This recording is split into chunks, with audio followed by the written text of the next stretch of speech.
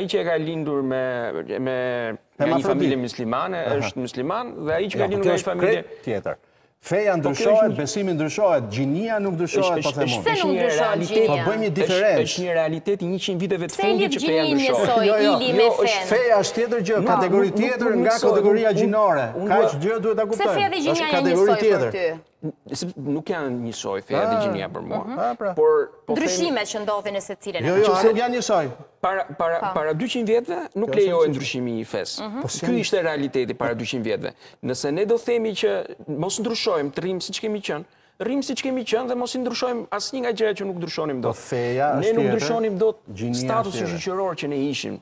Që se ti lindje feudal, ti do ishe feudal. Që se ti lindje... Gjinia është mashkull femër.